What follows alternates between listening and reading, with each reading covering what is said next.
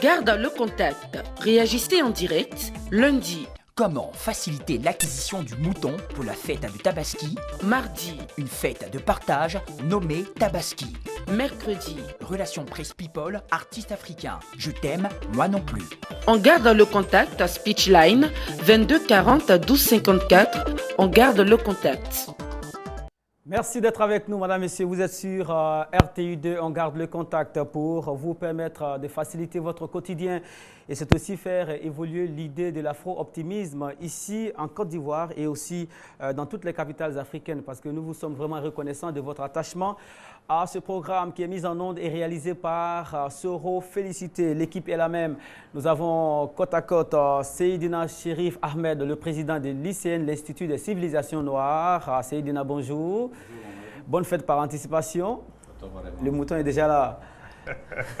D'accord. Et aussi à côté de lui, nous avons Monsieur Ismaël Diop. Ismaël Diop est le promoteur du festival des 18 montagnes. Ismaël, bonjour. Bonjour.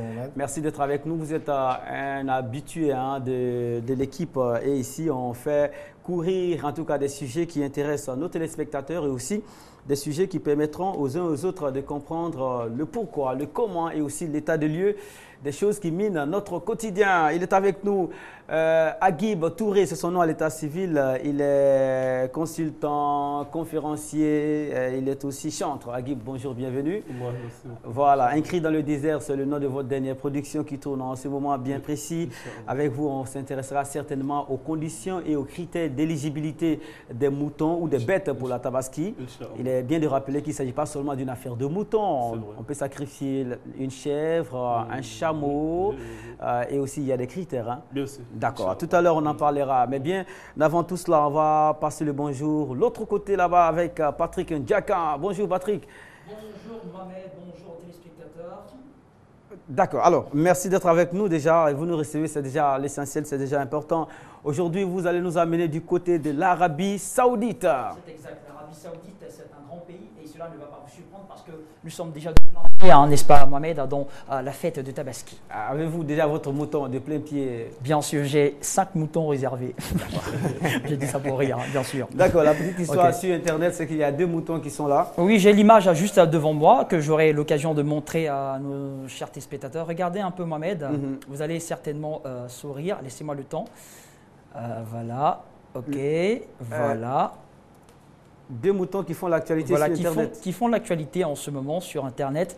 Et ils, ils ont des airs de, de, de, de- de bourgeois. Voilà, des, airs- des airs de bourgeois. Voilà. Uh-huh. Voici l'image ici. OK. On peut l'agrandir, oui. Man, Joe, la Tabaski arrive et tu n'es pas stressé. Non, ne t'inquiète pas, cette année-là, on est trop cher, ils ne pourront pas nous payer. Alors, voilà. J'ai mis le diapo. J'ai mis le diapo, voilà. D'accord. euh, Un mouton qui dit qu'il n'y a pas de problème cette année parce qu'on est trop cher. Ouais. Ah, ils ne pourront pas nous atteindre. Voilà. Voilà. On va y aller très rapidement donc, euh, avec l'Arabie Saoudite euh, qui, est un, qui est un État qui nous intéresse aujourd'hui. Patrick Ndiakan, c'est parti pour les généralités. Alors, il faut dire que l'Arabie Saoudite, euh, c'est un royaume d'abord, le royaume de l'Arabie Saoudite qui a une superficie euh, de 2 150 000 km avec une population de 28 376 355 habitants. Nous avons une capitale euh, qui est Riyad et la monnaie c'est le Rial. Voilà, c'est des noms qui se ressemblent un peu. Voilà. La Riyad capitale, c'est Riyad. C'est Riyad et, Et, la monnaie, le rial saoudien. voilà, le rial saoudien. Et pour la parité au franc CFA, un rial saoudien équivaut à 129,135 francs CFA. La fête nationale est fixée pour le 23 septembre de chaque année. D'accord. Et les populations concernant euh, l'Arabie Saoudite, euh, c'est une population très jeune. Très jeune. 75% euh, des Saoudiens sont âgés de moins Moins- de 30 ans. Oui, moins de 30 ans, c'est vrai. C'est quand même un potentiel pour le pays parce que cela dit que euh, l'Arabie Saoudite a donne de grandes ambitions, mais il faut préciser que euh, jusque dans les années 60, euh, la population était majoritairement nomade. Et aujourd'hui, nous assistons à une, sédentarisation de la population qui équivaut exactement à plus de 95% de la population qui est quasiment urbaine, avec encore une jeunesse très élevée qui a moins de 30 ans et encore un pourcentage impressionnant qui compte exactement 75% de la population saoudienne.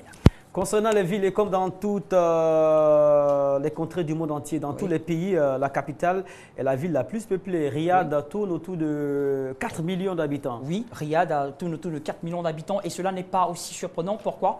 Parce que euh, le reste du pays est presque désertique, il faut reconnaître, à part quelques villes très importantes dans ce pays. Donc, comprenez un peu que la population se, voilà, vient se regrouper quasiment dans les villes importantes et urbanisées. Alors cela n'est pas surprenant de voir que Riyad est presque à 4 millions d'habitants. Venons en deuxième position avec la ville de Jidar, qui compte exactement 2 643 200 habitants. Ensuite vient la ville de la Mecque la Mecque euh, qui compte 2 millions d'habitants. Nous avons aussi Makar qui euh, compte 1 618 400 habitants. Al-Madina à 854 500 habitants et pour terminer avec la ville de Al-Daman qui compte exactement 707 300 habitants.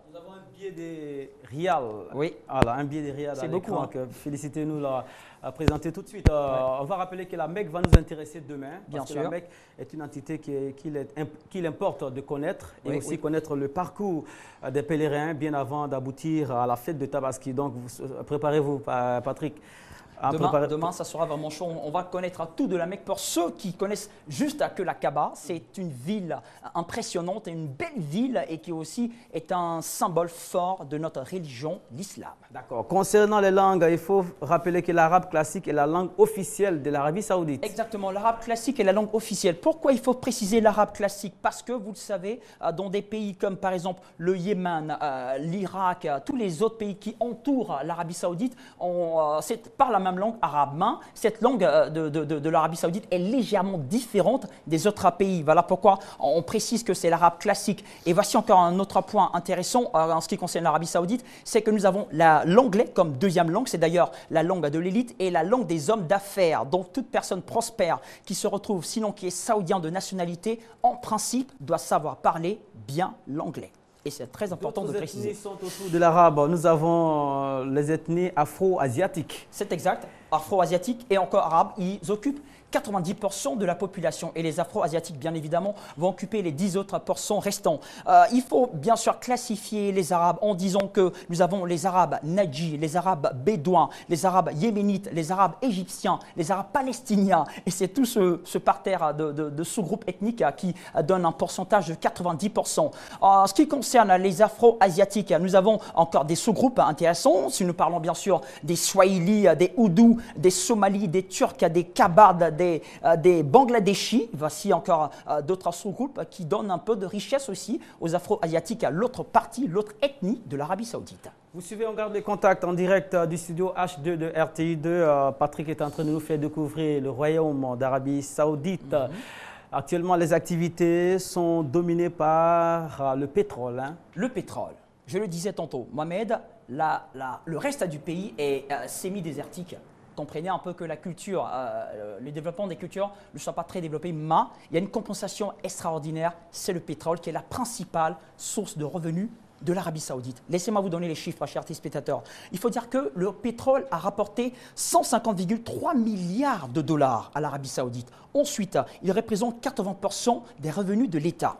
Il faut dire aussi qu'elle euh, représente 90% des exportations et 45% du PIB. Avec seulement le pétrole, l'Arabie saoudite assure se construire en apportant des innovations, en apportant l'urbanisation et aussi en permettant le développement euh, des citoyens qui habitent euh, ce magnifique territoire. Je peux dire que je suis fier de ce pays parce que les ambitions futures sont très grandes. Il faut dire que euh, l'Asie, sinon l'Arabie saoudite est la huitième puissance d'Asie et la 19e puissance économique du monde. Mohamed, c'est impressionnant. Avec le pétrole, ça ne surprend pas. Hein? L'éducation, 73% des hommes et 48% des femmes sont alphabétisés. C'est vrai, une société qui met à part les hommes, les femmes à part, mais malgré tout, tout le monde a le même, sinon presque le même niveau d'instruction. Les hommes occupent quasiment 73% qui sont euh, instruits et les femmes 48%. C'est vrai, mais nous avons remarqué que la société euh, saoudienne a tendance à mettre euh, l'homme au devant, mais il n'oublie pas d'instruire les femmes qui sont à un nombre quand même impressionnant et honorable pour ce magnifique pays. D'accord. Et aussi, euh, le tourisme atteint son apogée lorsque le pèlerinage à la Mecque commence. Euh, mais c'est une, destination encore euh, énigmatique. C'est exact. Vous avez parfaitement raison. Pourquoi? Parce que on dit tourisme religieux. Et le tourisme religieux autorise uniquement que les musulmans qui ont accès à la Mecque et à des villes importantes comme Médine. Voici pourquoi euh, tout le monde ne peut pas se rendre comme ça du coup en Arabie Saoudite. Mais par contre, euh, d'autres euh, touristes préfèrent visiter les étangs étendues semi-désertiques qui sont assez particuliers. Ça apporte pas mal de personnes, mais la majorité des touristes qui approchent à ce pays sont des pèlerins pour, bien sûr, le voyage à la Mecque. Parle-t-on de musique aussi en, Arabie Saoudite, littérature, musique On va terminer avec ces deux points. D'accord. Précisons que la culture euh, de l'Arabie Saoudite est codifiée par la religion et des principaux moraux euh, hérités euh, d'une longue tradition culturelle arabe et musulmane. Concernant la littérature, elle était bloquée dans son développement. Pourquoi? Parce que la société, les lois euh, qui régissent la société Arabie, euh, pardon, euh, le royaume d'Arabie saoudite sont basées sur le Coran. Alors que d'autres écrivains ont eu des idéologies qui partaient pas, bien sûr, dans le sens parfois des, versets coraniques. Et entre autres, nous avons retenu certains noms comme M.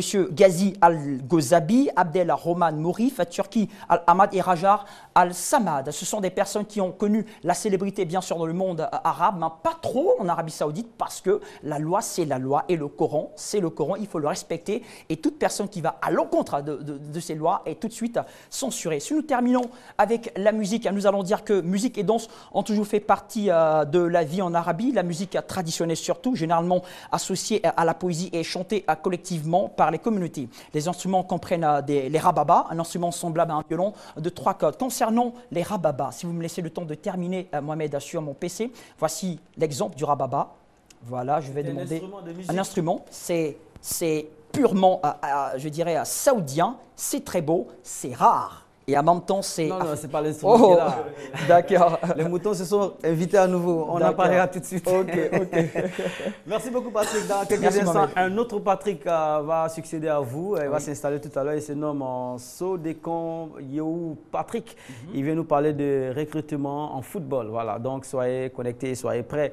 Euh, le football aujourd'hui est train du monde et vous aurez l'occasion de savoir comment est-ce qu'il faut intégrer un centre de formation de football. Euh, il est avec nous. Aguib, beaucoup de choses ont été dites. Vous vous retrouvez là-dedans. L'Arabie Saoudite, c'est une grande puissance. Wallah, il me donne même envie d'y être. D'accord. Et alors, euh, le taux d'alphabétisation est très élevé là-bas. Je pense qu'ils ont su défendre euh, leurs lettres, défendre, je vais dire, leurs différentes sciences. il s'agit d'un pays qui a, une certaine, qui a un certain ascendant au plan mondial. Oui, le font tout en euh, répondant à un appel du messager d'Allah, Muhammad sallallahu alayhi wa sallam, y a un autre appel d'Allah qui dit la quête du savoir est obligatoire sur chaque musulman et musulman. Et Rasul nous disait, au moment où l'on ne connaissait même pas la Chine, il disait dans un hadith, il Allez-y chercher la connaissance, même si c'est aller jusqu'en Chine. Comme s'il savait qu'aujourd'hui la Chine allait Chine serait euh, une, une, grande Donc nation. le prophète, il savait ce qu'on ne savait pas, il savait ce qui allait arriver si Dieu le permettait de le savoir. Mhm. Et donc c'est une... Et même le Coran le dit, Dieu élèvera ceux qui ont cru de parmi vous et en plus il élèvera de plus grand degré ceux qui ont la connaissance. D'accord. Dans seulement quelques instants, on parlera de conditions, des critères d'éligibilité des bêtes. Toutes les bêtes ne sont pas autorisées à être sacrifiées pour la tabaski. Et ce n'est pas seulement une affaire de moutons. D'autres bêtes sont éligibles. On aura la liste tout de suite et aussi euh, les interdits et quand, comment et où il faut immoler le mouton. C'est très important. Et ce sera pour demain déjà. Bien avant cela, publicité Sodeku Yo Patrick est avec nous pour euh, nous parler de recrutement football. Et il parle au nom de la structure euh, Midfield Agency d'Afrique du Sud. Euh, il aura des choses vraiment intéressantes à savoir tout de suite avec lui. Patrick, bonjour. Bonjour Mohamed. Ça va très bien? Ça va très bien. Vous recrutez quand, où, comment et qui? Ok. déjà, je voudrais vous dire merci mhm. pour l'antenne que vous m'avez accordée. Voilà, je, je, reprends au nom de Sodekon Yo Patrick, mhm. euh, dit manager Jackson. Et là, notre structure, euh, la structure sport Midfield Agency, dont je suis le représentant en Côte d'Ivoire, organise euh, sa deuxième édition de recrutement de football qui aura lieu précisément au stade de l'usine qui fait face à l'université Nangu à Bourgois. Abobo Adjamé. Abobo Adjamé, celui-là c'est oui. D'accord. Alors, euh, vous, euh, vous allez faire ça du 20 novembre au 26 novembre, c'est ça? Oui. Six jours de recrutement, euh, réservé à qui précisément? Ben, À ce recrutement, nous entendons déjà tous les jeunes footballeurs. Mhm. Et l'âge est de 8 à 25 ans. Donc déjà les joueurs de première division, deuxième division et les centres de formation bien organisés peuvent déjà y participer. D'accord. Et alors, euh, l'âge des, des, recrutés va varier entre quel âge et quel âge? Ben, L'âge est de 8 à 25 ans. 8 et 25 ans Oui. Vous les recrutez, vous les emmenez où? Vous faites quoi d'eux? Ben, Quand l'agent sera sur place, comme euh, je l'ai dit tantôt, nous sommes à notre deuxième édition. À la première édition, nous avons eu de, de meilleurs talents qui est aussi là aujourd'hui, euh, parmi eux, d'autres ont eu la chance d'être aujourd'hui en Afrique du Sud, qui évoluent dans le championnat de deuxième et première division. Quelques noms, quelques noms euh, Nous avons Irié, mhm. nous avons notre jeune joueur aussi, Anissé, et nous avons beaucoup de joueurs quand même, nous avons beaucoup de talents. Voilà, donc euh, déjà, euh, je voudrais ajouter que ce projet est un grand projet mhm. et les droits de participation à ce projet s'élèvent à 30 000 francs CFA par jour. 30 000 francs par joueur Par joueur, justement. Par moment, les gens se sont plaints. On paye les droits de participation, on ne connaît plus quand est-ce que les résultats vont paraître et tout ça. Est-ce que vous, chez vous, c'est clair? Chez nous, c'est très clair. Déjà, euh, ils peuvent déjà aller euh, sur le site internet, mhm. taper Sport Midfield Agency et ils verront déjà toutes les informations. D'accord. Et la date limite des inscriptions, c'est le 5 novembre à minuit. Le 5 novembre à minuit, oui. Y a-t-il des documents à fournir? Euh, Il y, a, y a la fiche de santé récente à fournir.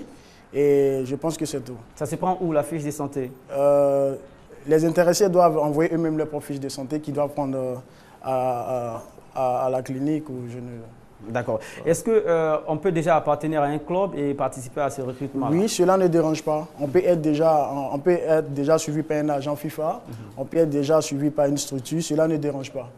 Il suffit juste de venir faire parler de votre talent parce que nous avons beaucoup, beaucoup de projets pour ces jeunes-là. Voilà. Y a-t-il un contact, un contact pour euh, de plus amples informations? C'est très important comme, comme opération. Oui. Y a-t-il un contact? Oui, il y a des contacts. Il y a deux contacts. Les numéros de téléphone sont le 04 41 55 50 et le 46 73 54 43. On va reprendre le premier pour qu'il reste. Le premier est le 04 41 55 50 et le 46 73 54 43. Il a donné les deux en même temps. Merci beaucoup.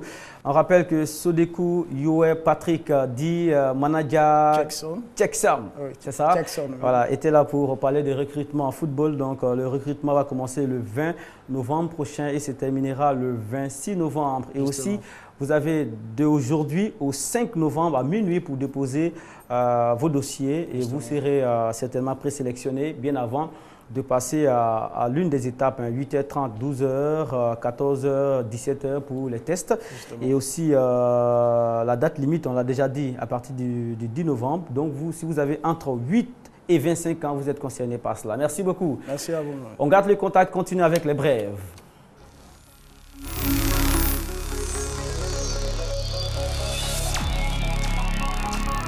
En bref, euh, la cité bouge et les 7, 8 et 9 novembre prochains du côté du Palais de la Culture, il y aura un grand festival ivoirien, un festival abidjanais qui va regrouper tous les talents d'Afrique. Et nous vous assurons que le lancement a eu lieu le vendredi dernier. On était là-bas pour vous. Voici les temps forts.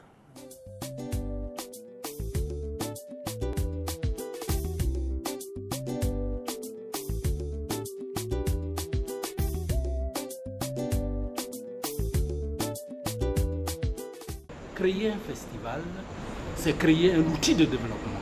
Pour la simple raison qu'en dehors, n'est-ce pas, euh, j'allais dire euh, la dimension sociale, il y a également cette dimension économique.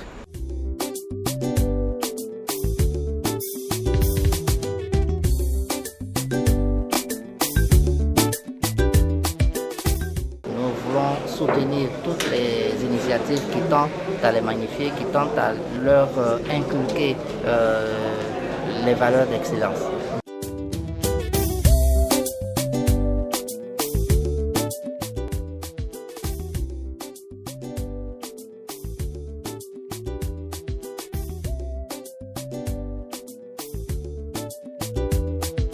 Dans le milieu, pas mal de personnes euh, sont, sont on va dire, se sont improvisés dans le rôle euh, qu'ils jouent et il est donc important que euh, leur capacité soit renforcée par des modules de, formation et puis et aussi enrichie par l'expérience de nos aînés.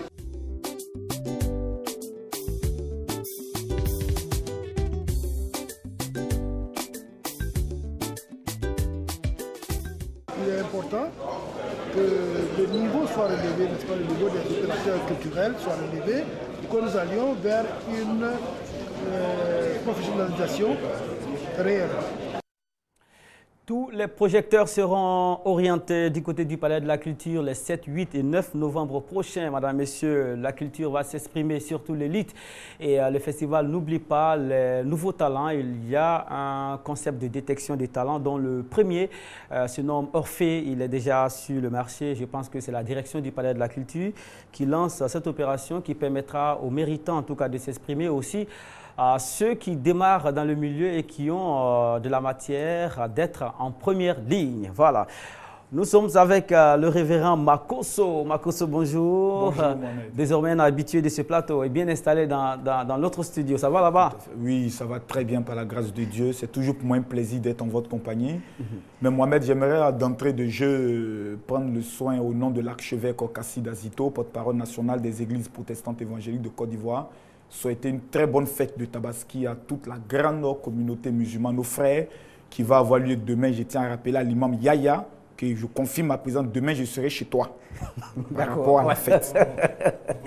Makoso, Tout à vous, fait. vous êtes là pour euh, des remerciements et aussi nous parler d'un séminaire de formation. Vous venez de mettre un troisième point. On va vous facturer tout de suite à la sortie. D'accord. Alors, remerciements pour quoi, euh, Makoso? Remerciements parce que la Côte d'Ivoire a reçu l'archbishop Nicolas Duncan Williams en Côte d'Ivoire, mhm. dont nous avons fait une euh, haute campagne, je peux le dire, de publicité il est effectivement arrivé en Côte d'Ivoire. Nous avons eu des programmes extraordinaires avec lui au niveau de l'hôtel communal, au niveau des Vidicités, un séminaire pour les pasteurs. Et nous tenons à remercier tout le comité d'organisation, toutes les églises, les fédérations. Nous avons constaté autour de cet événement une unité de la grande famille protestante évangélique de Côte d'Ivoire. Et nous, nous avons retenu quelque chose de fort. Je me rappelle de l'enseignement qu'il a donné au niveau de l'hôtel communal en disant, tout chrétien qui ne prie pas pour les autorités en place est en train de se rébeller contre Dieu lui-même. Parce que la Bible nous enseigne, prier pour vos autorités. Ce n'est pas un souhait, ce n'est pas que tu as le choix, c'est une obligation. Il nous a demandé de mettre en dehors de tout ceci nos convictions politiques et autres et d'appliquer la parole de Dieu. Et c'est quelque chose qui nous a vraiment fait énormément du bien, qui a libéré l'esprit de beaucoup. Et par la grâce de Dieu, aujourd'hui, je vous parle, tout le monde est en train de prier. Et je tiens à confirmer à tous ces pasteurs qui ont participé au séminaire que mercredi, à partir de 9h à la à l'église la bénédiction d'Adjamé, les diplômes signés par l'archbishop Nicolas Dincombila seront remis au séminaire que nous allons prendre le soin d'avoir avec les orateurs tels que l'archevêque Okassi Dazito, mhm. le bishop César Cassier, le révérend Ralou Afo, le prophète euh, Olivier Gawa, qui vont tenir un séminaire important sur qui es-tu. Nous allons prendre le soin d'enseigner aux pasteurs sur qui ils sont réellement. Est-ce qu'un pasteur doit prendre le soin de voir certaines situations, baisser la tête et autres, mais qui tu es en tant qu'homme de Dieu Comment tu peux avoir manifesté l'autorité dans ton ministère? Comment tu peux prendre le soin de ce que l'homme de Dieu nous a donné comme enseignement? Comment les appliquer? C'est un homme qui a un charisme extraordinaire, qui nous a donné des choses. Vraiment, je n'ai je je pas les mots. Nous nous demandons 40 ans de ministère, les sous entendent, les aveugles voient, les paralytiques se lever au niveau de Vridicité où il y avait près de 20 000 personnes. C'était très, très, très fort. Nous voulons que cette flamme qui est née puisse prendre le soin de continuer. C'est pour cela que nous entrons en séminaire, pour que véritablement les hommes de Dieu puissent capitaliser ce potentiel qui a été laissé et faire croître. Donc, ce mercredi, à partir de 9h, à l'église, la bénédiction à jamais dès 9h, pour tous ceux qui ne maîtrisent pas, lorsque vous arrivez à Djamé, vous faites comme si vous partez vers Fraternité Matin, en face du 7e arrondissement. L'église IS, c'est le plus beau bâtiment, une salle bien climatisée. En tant que pasteur, nous serons dans un environnement adéquat pour parler des choses importantes. Riviera Makoso. Oui, tout à fait. le numéro 04 68 40 40. 04 68 40 40 09 50 93 59 09 50 93 59. Le plus facile, c'est 04 68 40 40. Ça, c'est ma ligne directe. Où est-ce qu'on en est avec l'identification Bon, je pense que l'identification en cours, comme je ne veux pas encore être facturé, demain, je viendrai spécialement parler de l'identification. Quand un pasteur non identifié, il devient suspect. Merci beaucoup. En tout cas, bonne fête à vous. Bonne fête à vous et euh, on prend beaucoup de plaisir à être en votre compagnie. On garde le contact. Euh, c'est votre euh, magazine. Hein. Tout à Venez en tout cas quand l'envie vous prendra, d'accord Merci. Merci beaucoup. Les temps forts de la semaine dernière, surtout le lundi dernier, concernant euh, ce qu'on allait appeler le goût d'entreprendre aux jeunes. Est-ce qu'il faut compter avec les jeunes Africains dans euh, les investissements? Madame, Monsieur, il s'est dit beaucoup de choses sur ce plateau. On prend plaisir à vous reproposer les interventions de nos consultants. Le véritable problème, c'est que euh, soit quand tu viens avec un projet d'investissement, soit on te prend, je répète encore, soit on te prend pour un gros rêveur, ou on pense que tu n'as pas l'âge. Et c'est la vérité, ce qu'il dit. tout grand projet part d'un grand rêve aussi. Oui, mais il ne rêve pas parce que chacun pense que c'est à lui appartient le rêve. C'est-à-dire, tu viens avec ton rêve, tu rencontres des gens qui peuvent quand même créer le cadre pour que tu, tu, ton projet avance. Lui, il pense que toi, tu es trop jeune pour rêver et que c'est lui, à 70 ans, qui est assis derrière un bureau. Il pense que ce rêve-là, ça doit venir de lui. Comme donc, donc à partir de ce moment-là, il commence à avoir tous les pots de banane sous tes, sous tes pieds. Ce que moi, j'ai remarqué, mm. nous n'avons pas le goût du risque. Mm. Maintenant, aussi, il y a un problème aussi. Il y a une injustice aussi. Souvent, quand un pauvre vient avec un grand projet, mm. une fois que tu présentes ton projet à un riche, il t'arrache ton projet et puis tu ne peux rien faire. Non, mais s'il a déjà un, grand projet, il n'est plus pauvre. Non, il est pauvre. Nous, je, sais de quoi je parle. Moi-même, j'ai été victime de, de vraies, vraies injustices par rapport à un projet que j'ai conçu dès le départ. Mm. Mais quand le projet pouvait prendre, ils sont venus m'arracher. On n'a pas besoin de soutien financier de quelqu'un. Les jeunes ici en Afrique sont très intelligents. Et puis, il y a beaucoup de choses sur lesquelles les jeunes peuvent investir. Est-ce que vous comprenez? Il y a, La dernière fois, plusieurs fois, si vous avez remarqué, depuis qu'on a commencé l'émission jusqu'à maintenant, on donne des petites tactiques quand même. Il y a les, tatines de Wami dont je parle tout le temps. C'est des, des, des, moyens, c'est un apport, c'est des atouts d'investissement aussi. Est-ce que vous comprenez? Maintenant, il y a, il y a plein d'autres choses il faut qu'on revoie un peu le système scolaire pour qu'on puisse quand même former des gens qui, hein, qui à, la fin de leurs études, puissent avoir l'amour, l'amour pour l'investissement, l'amour pour le risque. 22 42 54 sur euh, la toile également, 3 fois www.facebook.com slash on garde les contacts. Vous avez l'occasion en tout cas de réagir à pas mal de sujets qui intéressent euh, les Africains et des sujets qui donnent euh, du moteur à l'afro-optimisme. On peut réussir beaucoup de choses tout en restant sur ces bases. Et dans seulement quelques instants, nous allons passer l'autre côté de l'émission, hein, tout en vous rappelant qu'on va essayer de savoir ensemble comment est-ce qu'il faut faire pour faciliter l'accès des moutons à l'approche des fêtes de Tabaski. Madame, Monsieur, c'est un véritable casse-tête chinois. Là où je vous parle, je suis sûr et certain que certains sont encore dans le problème. Donc, le téléphone est à votre disposition, 22 42 54. si, vous, avez d'autres expériences dans vos différents pays, vous précédez ce numéro du plus de 125. Vous nous faites partager votre expérience. Et si vous euh, avez eu quelques clés aussi aux difficultés, quelques explications aux, aux difficultés là, vous pouvez également réagir pour qu'on comprenne en tout cas euh, la surenchère qui est autour des bêtes en période de tabaski. A tout de suite.